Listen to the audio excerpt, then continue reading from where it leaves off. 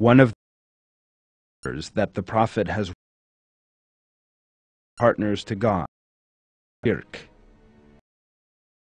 one and only. Entities are solely what he has. These truths to free them from idolatry. This is revealed as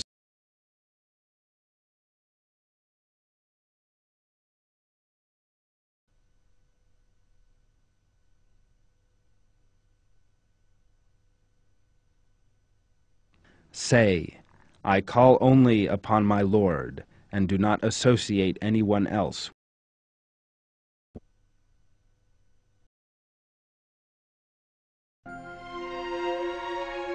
The Prophet has warned all Muslims against idolatry in the Hadith, and has stated that ascribing partners to God is a grievous sin. The most is to